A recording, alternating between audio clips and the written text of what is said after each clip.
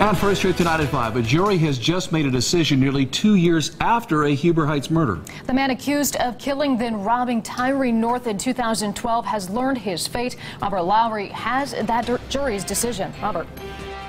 Jesse Stinson, the man accused of shooting Tyree North, has been found guilty on all counts, all of them for that Huber Heights murder and robbery back in 2012. We, the jury, find the defendant, Jesse M. Stinson, guilty of murder. The accused killer of a Huber Heights man shakes his head in disbelief as a Montgomery County jury's decision is read.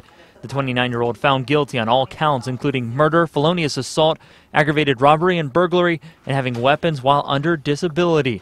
The charges against Jesse Stinson stem from the murder of Tyree North at his Mount Charles Lane home back in October of 2012.